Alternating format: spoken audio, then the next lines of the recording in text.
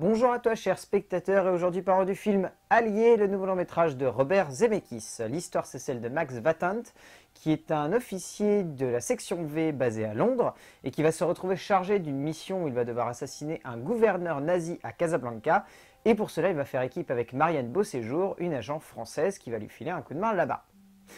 Alors oui, je préfère résumer uniquement ça pour ceux qui n'ont pas vu la bande-annonce.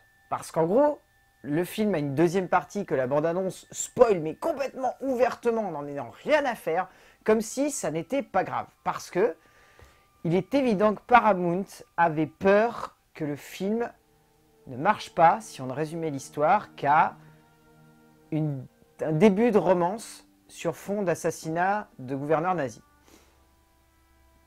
Et là, on va tout de suite pointer du doigt ce qui fait que ce film est condamné a foiré sa carrière en salle, la campagne promo est loupée. Vous n'allez pas voir un thriller d'action ou même un blockbuster en allant voir Allié. Vous allez voir une romance sur fond d'histoire, de manipulation, avec un ton orienté vers le thriller. Voilà, vous avez le truc posé, et une fois que ça s'est posé, vous allez prendre un pied monumental avec Allié, parce que c'est un très beau film que nous offre Robert Zemeckis ici. C'est vraiment un long métrage d'une efficacité, d'un dynamisme et d'un respect cinématographique extraordinaire. Mais il y a quand même des petits défauts. Comme toujours, quand un film voilà, veut essayer de rendre hommage à une certaine vague du cinéma américain, et là en l'occurrence c'est une certaine vague qui est plus basée dans les années 50, euh, qui est très référencée de 1 au film Casablanca, de 2 au cinéma d'espionnage des années 50 américain et de 3 au cinéma de Howard Hawks.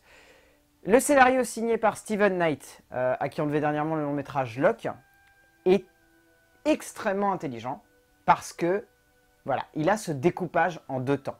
Il a cette première partie qui se passe à Casablanca, qui est vraiment de l'ordre de la découverte de la romance et surtout d'un placement du jeu entre les deux personnages principaux qui dans le deuxième temps du long métrage, va avoir un impact extrêmement fort sur le spectateur, parce que vous allez tout de suite vous rendre compte qu'il y a quelque chose qui est assez fascinant dans la construction des personnages. Il y a tout de suite une position de dominant-dominé qui est placée dès la première partie. Dans la première partie, c'est clairement Marianne qui est la dominante, et c'est Max qui est dominé. Mais il l'accepte. Comme si, étrangement, il savait que dans la deuxième partie, il allait devoir inverser les positions et essayer de comprendre la place qu'il a vraiment par rapport à cette femme.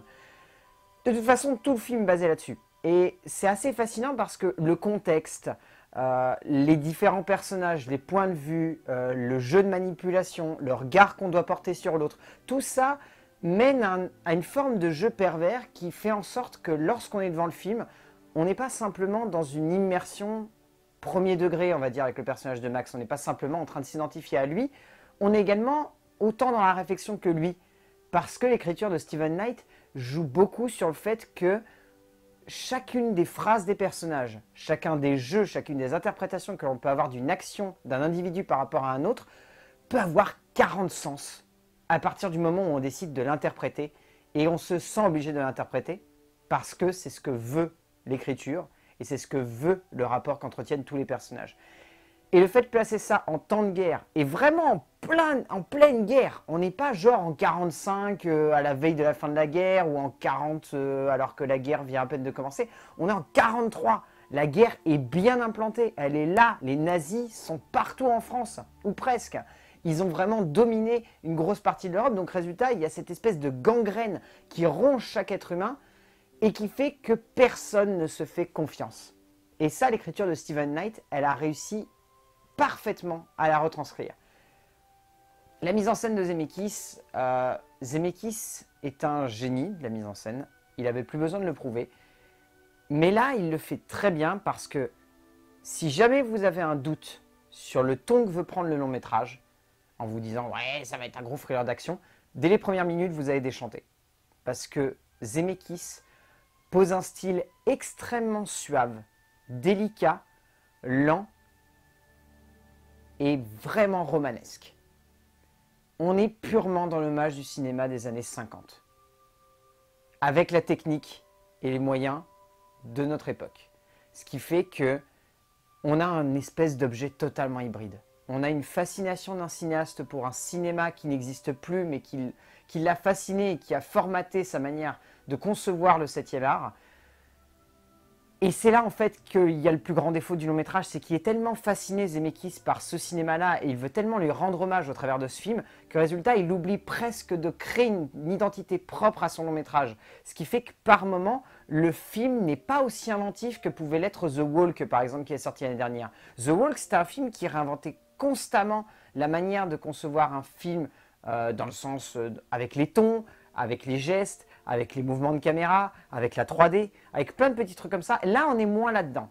On est plus dans un film qui est un hommage pur, et Zemeckis le conçoit vraiment en tant que tel, ce qui fait qu'il y a deux trois instants où il y a un espèce de mix hybride entre une technique moderne et une conception ancienne. Et par moments, ça passe super bien. Et il y a d'autres moments où il y a des petits problèmes de rythme. Et c'est pas super. Mais comme le disait mon collègue euh, Jean-Michel Missich, qui l'a très très bien dit, les cinéphiles vont bander sur ce long métrage. Vraiment, ils vont kiffer le fait de voir toutes les références, le fait de voir tous les hommages. Ils vont adorer. Vraiment, ils vont adorer. Mais voilà, il y, a ce petit défaut de où s'arrête l'hommage et l'irrespect presque de cet hommage qui devient à la fois irrévérencieux et respectueux. Enfin, il y a tous ces petits détails, c'est un petit peu dommage. Au niveau du casting, alors le casting, on a surtout les deux acteurs principaux. Au niveau des acteurs secondaires, Jared Harris est vraiment excellent. Auguste Dill est très bien également. On a Matthew Good, on a Lizzie Kaplan. Bon, Lizzie Kaplan, elle n'est pas extraordinaire, mais elle a un petit rôle. Et Matthew Good aussi. Mais voilà, il fonctionne plutôt bien. Le souci, c'est que Marion Cotillard est bien. Elle n'est pas extraordinaire, mais elle est vraiment bien. Il y a deux, trois scènes où elle est vraiment impactante et la fin, elle arrive à la transcender totalement. Mais Brad Pitt, son jeu est sympa, mais il y a des moments où l'émotion, elle n'arrive pas à transcender l'écran. Et ça pose un petit peu problème parce qu'il est vraiment notre véhicule émotionnel et d'identification tout au long du film. il y a des moments où on est impressionné parce qu'il impose une carrure, mais l'émotion, elle a, du mal à passer des fois. Et c'est un petit peu dommage parce que c'est quand même Brad Pitt et on s'attendait un petit peu à mieux venant de lui.